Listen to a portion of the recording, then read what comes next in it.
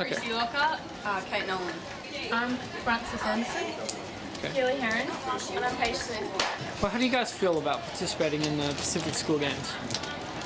Um, I think it's a great experience to play along with uh, this whole team. They're quite an amazing bunch of girls. Yeah, I was here in 2015, same with Kate, and it's a great, it's a great competition with all the sports being here, and it's just a great environment. Okay. Um, I think it's a fantastic opportunity because it's kind of like preps you for nationals if you're going to go that pathway, but it's also a bit of fun, not as quite, quite as, as intense as nationals, so you get to have a bit of fun.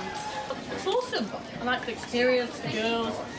It's good to see some talent come out and shine. Um, it's really exciting and nerve-wracking at the same time. It's good, you know. It's good, yeah? Yeah, like play softball. Yeah. Um, then uh, it's good to play softball with a great bunch of girls and the Okay. experience is good. It's good. Started around March, April, we did trials. And then we started training in like monthly and then because we had like our state and then our like club and like our state league so then we had to like Lots of Yeah. softball trainings every day. Has it been hard? yeah Yeah. And have you guys been training hard? Oh, well, um, I'm actually from Port Hedland, so I country girl didn't get okay. out of all of it. I didn't, um, get the pleasure of training with the girls, so I did my own individual training every every night. Good. Um, and how would you describe your relationship with the rest of your team?